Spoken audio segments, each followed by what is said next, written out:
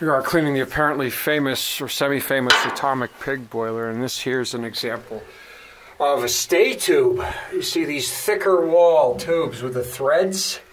Uh, British boilers, of course, are the strongest in the world, and they decided to make every other tube into a stable, a proper stable. So we got them up there and on the tube sheet, not just the relying on the expansion to hold the boiler together.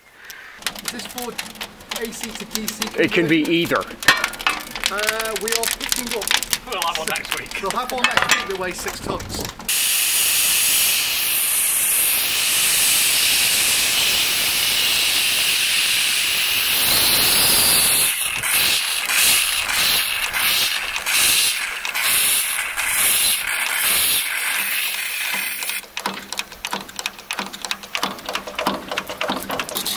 Okay, primed.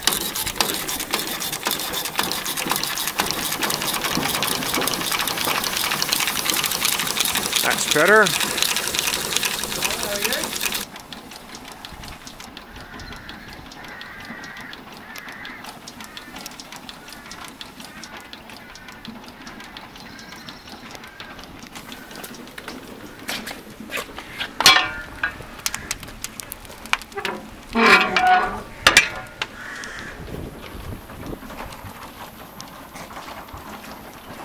What we're doing today actually, this boiler is being gainfully employed.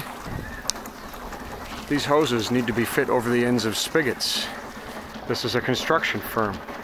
Uh, in order to get the hose over the end of the spigot, it's got to be preheated. The best way to do that seems to be dunk it in super, super hot scalding water. So this boiler is currently a steam supply for that job. Super excellent. And it's uh, it's free labor essentially for this job because the uh, the wood we're burning is all scrap produced by the by the place. And unfortunately, we've got a little conundrum on our hands. The uh, I found a bird's nest in our firewood collection. So this bag is now off limits, as are the bags neighboring it, because we can't kill those little guys.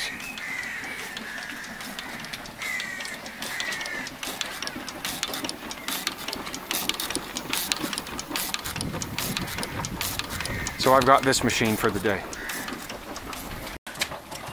Yay!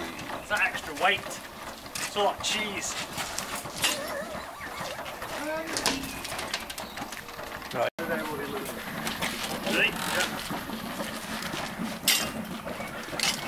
Nice. Good. Oh, this one. Quick.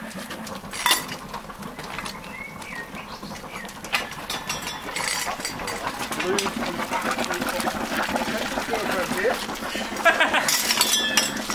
am. That's all. You, you're not to have those thoughts at work.